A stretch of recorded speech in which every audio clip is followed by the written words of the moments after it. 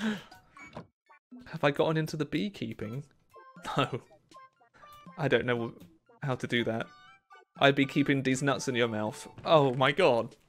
Pigeon!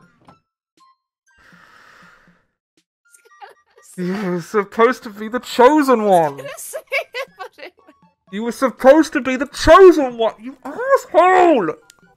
Man, pigeon! Man! Ah, That was amazing. every time I go to That this was amazing. goddamn- Pigeon, love you. Incredible. I don't want to do this anymore.